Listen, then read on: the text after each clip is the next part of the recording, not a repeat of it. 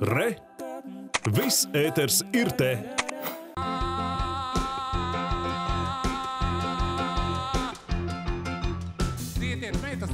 Viņš savā būtībā vienmēr palika 18-gadīgs hipijs, kur galvenās vērtības bija mīlestība, cilvēcība un, protams, brīvība.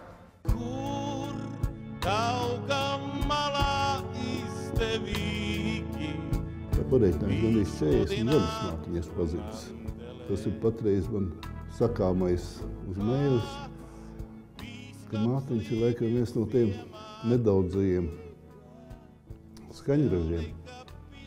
Tā es gribētu teikt skaņražiem, nevis komponistiem, bet skaņražiem, kuram gandrīz vai nav tukšas mūzikas. Viņš bija dzīvais izpildītājs.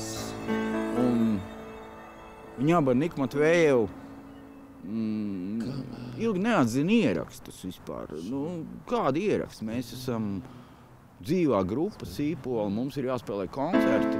Kamēr tu šo dzīvi spēlē vien. Vērot eh, Mārtiņa Braunā uzstāšanos, tas bija vesels piedzīvojums arī pat tiem cilvēkiem, kuri vispār neko nedzird.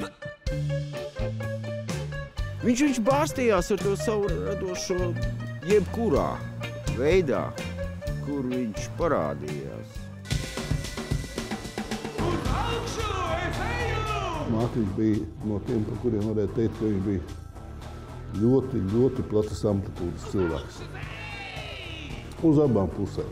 Kaut kas viņam bija saskaitījis, ka viņam ir 200 filmu mūz, mūzika, 200 teātris izrāžu, bet uh, par tām teātris izrādēm tur noteikti ir vēl daudz vairāk. Tā, ka es domāju, ka uzpeldējis uh, dažādu cilvēku arhīvos ļoti daudz vēl mums nezinām Mārtiņa Brauna darbu.